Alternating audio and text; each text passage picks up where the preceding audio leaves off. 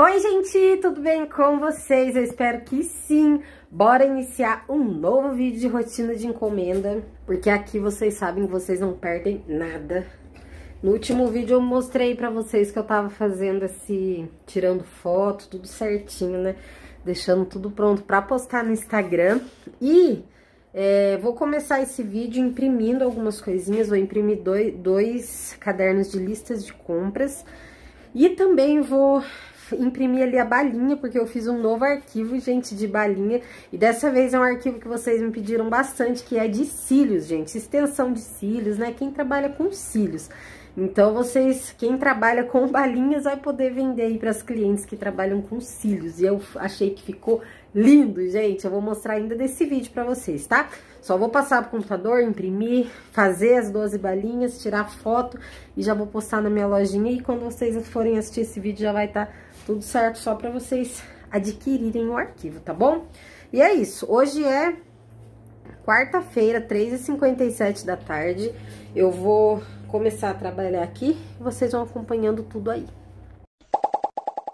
Prontinho, pessoal, olha como que ficou linda as balinhas de cílios, que coisa mais fofa. Olha só, dessa vez eu fiz elas todas rosinhas, né? Com a pontinha rosinha e as frases, ó. E aí tem 12 frases diferentes. Uma mais linda que a outra, né? E tudo tendo a ver com cílios, né? Olha que fofura, gente. Ficaram lindas. Aí eu tirei foto nesse fundinho. Azul com glitter. Então ficou lindo. Então já vai estar disponível lá na minha lojinha do Elo 7, tá? E aí, gente, as fotos que eu tiro aqui, é, eu também deixo disponível no arquivo, tá? Pra vocês poderem divulgar. Olha só que fofura. Uma mais linda que a outra. E são 12 modelinhos lindos, gente. Tô apaixonada. E as pessoas aí que trabalham com cílios vão amar, né? Pra dar pras clientes dela. E é isso. Acabei de imprimir aqui, ó, dois cadernos de lista de compra. Essa aqui, gente, foi eu mesma que criei, tá bom? Porque ela me pediu só com linhas, sabe? Sem as coisas escritas. Então, eu acho que eu vou até deixar disponível na minha lojinha de arquivos. Comenta aqui se vocês querem. Daí eu faço algumas capinhas também. Porque são só linhas, né? Pra você marcar a quantidade o item. É mais fácil porque aí você sabe o que tá faltando, né? Na sua casa. E é isso, gente. Agora eu vou... São dois desses. Vou imprimir mais um e também é um caderno de receitas. Acabou de chegar aqui, gente, que a minha mãe trouxe pra mim, ó. Papel fotográfico. Comprei na Shopee. Eu compro lá e é 115 gramas. Comprei 200. O meu acabou exatamente hoje, tá acabando. Tem mais cinco folhinhas ali. Então, chegou a tempo. E olha só o que a minha tia trouxe pra mim. Ela trouxe, gente, esses... Eu não sei como é o nome, mas é como se fosse protetor, tá vendo? Pra me colocar nas minhas caixinhas, quando eu for enviar alguma caixinha com caneca. Olha quanto ela trouxe, gente. Obrigada, tia.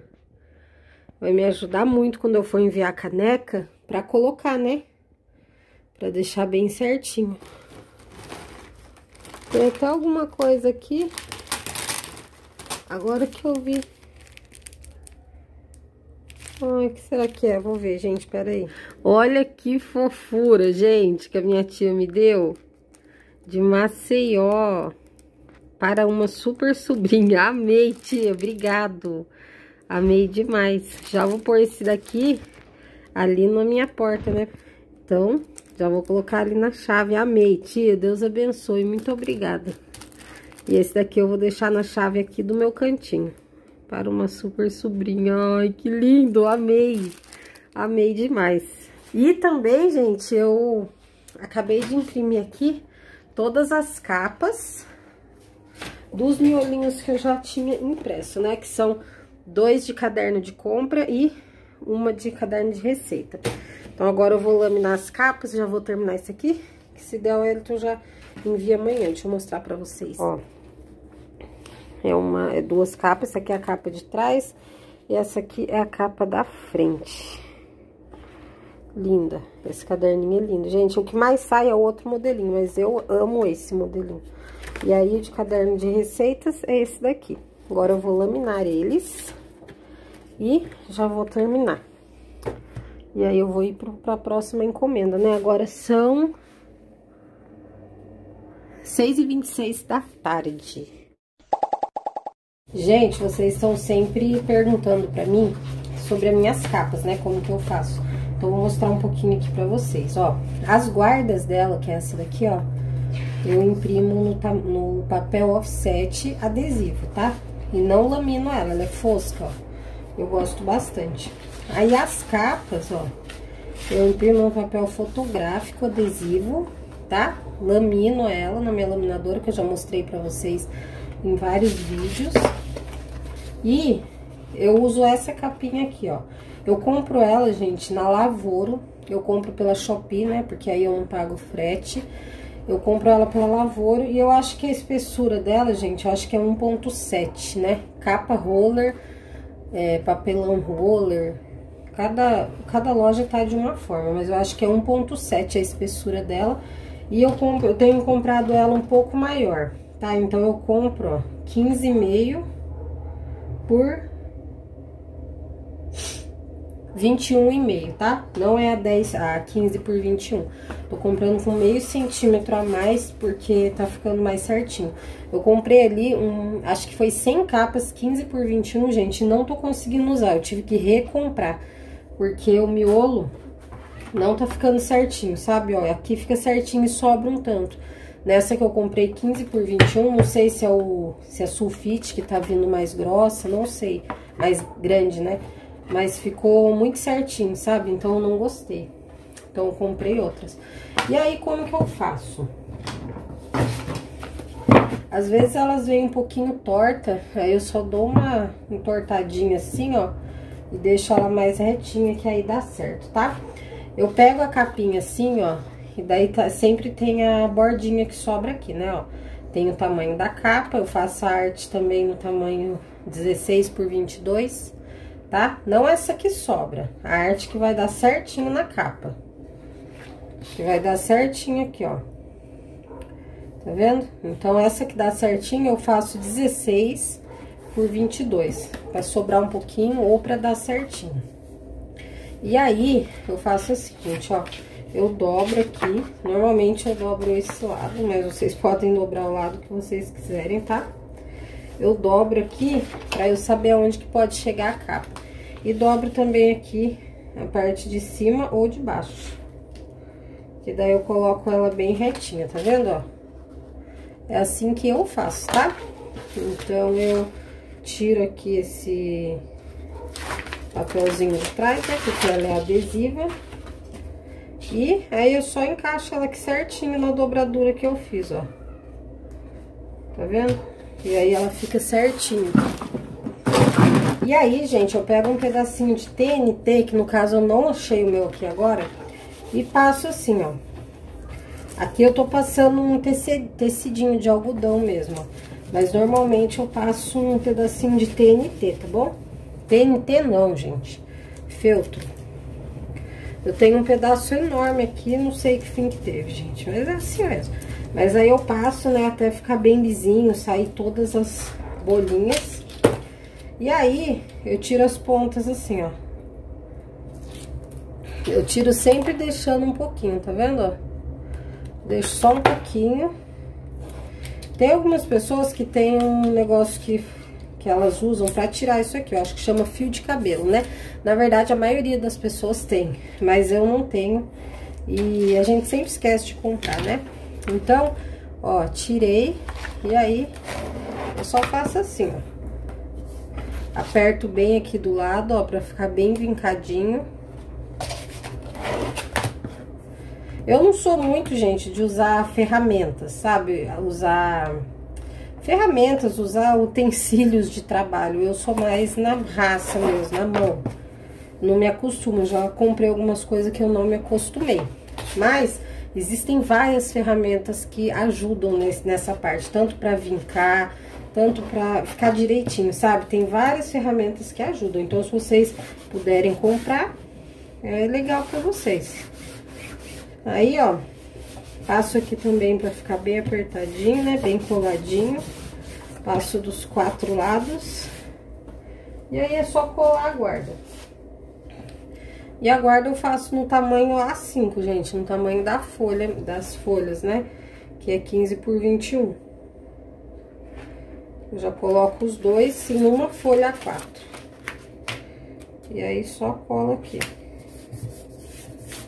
E passo novamente o feltro. Minha blusa tá escorregando, gente. Eu não vou tirar ela porque tá muito frio. Ó. Passo o feltro. E prontinho, ó. Capinha pronta. Essa é a parte de trás, né? Do da caderno de compras. Daí fica bem certinho, ó. Perfeitinha. E aí, vocês gostaram de ver como é que eu faço a capa? Porque aí sempre que eu posso, eu vou estar tá vindo aqui mostrar pra vocês, tá bom?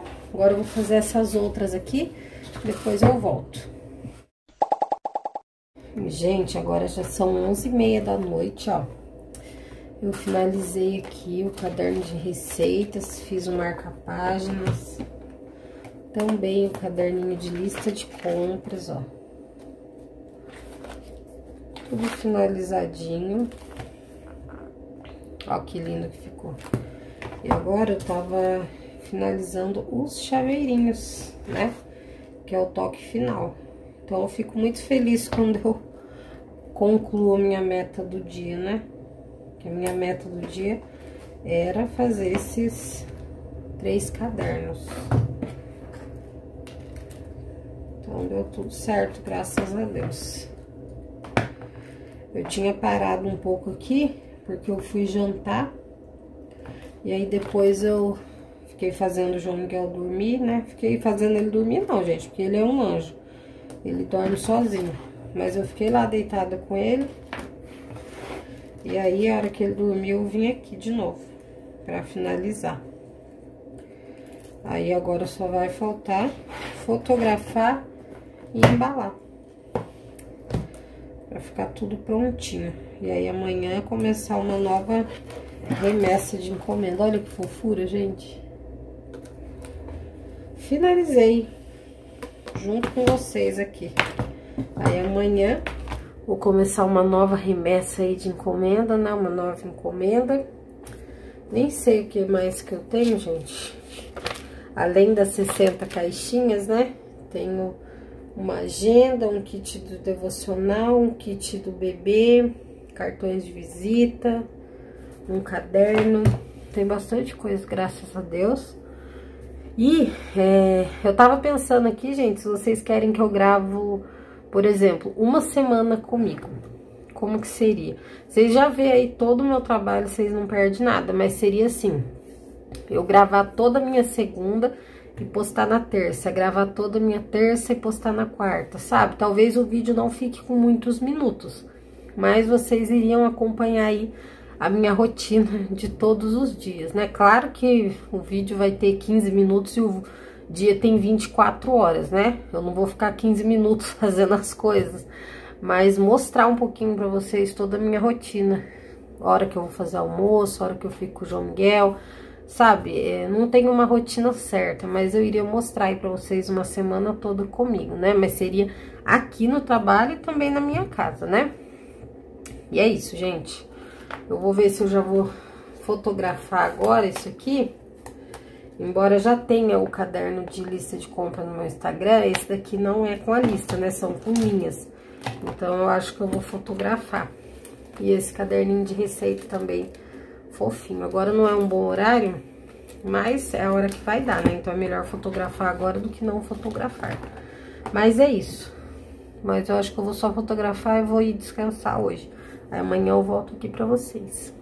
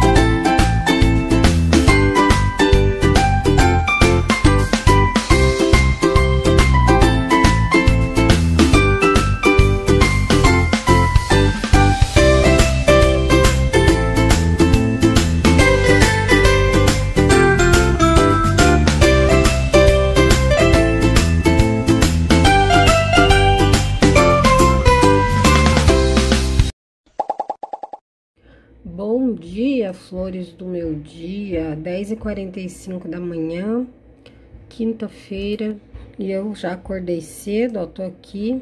Agora, não, não acordei agora, né, gente? Acordei faz tempo, já limpei a casa.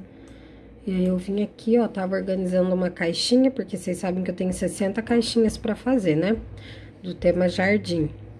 Então, eu organizei tudo aqui numa folha e eu vou fazer aos poucos. Eu vou preferir fazer assim dessa vez. É, são cinco desse modelinho regador. Cinco de casinha, cinco pirâmide, dez milk e dez caixa bala. Então, eu vou fazer essas mais complicadinhas primeiro, né? Que é a casinha, o regador e a caixa bala. E depois eu vou fazer a milk e a pirâmide.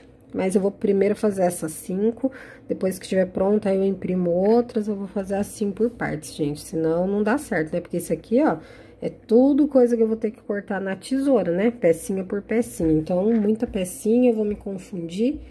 Então, eu vou fazer por partes.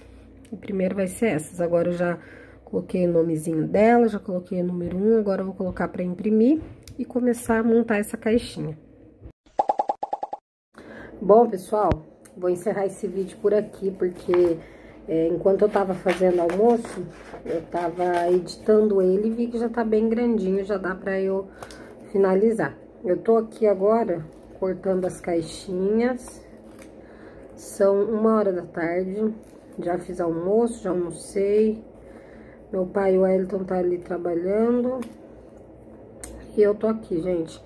Eu vou fazer, eu vou cortar uma, né? Vou montar pra ver se tá tudo certinho, tudo encaixando direitinho. Daí eu faço as outras.